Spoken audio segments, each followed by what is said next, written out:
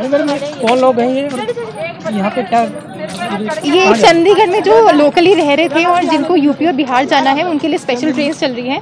तो पहले अभी बिहार की ट्रेन निकल चुकी है एक बजे के करीब और अभी सात बजे यूपी के लिए जाएगी। तो ये यूपी जाने वाले लोग अभी बैठे हैं। कितने लोग हैं मैम कितने लोगों ने रजिस्ट्रेशन कराया? कितने लोग जा रहे हैं? रजिस्ट्रेशन तो बहुत लोगों ने कराया है। मेनली 1200 की कैपेसिटी पे चल रही हैं दोनों ट्रेन 1200 1200 पे।